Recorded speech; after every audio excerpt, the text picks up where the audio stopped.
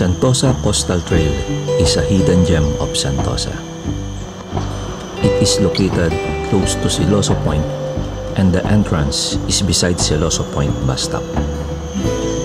You can enjoy a breezy ride on your bike on this quiet coastal forest and waterside nature.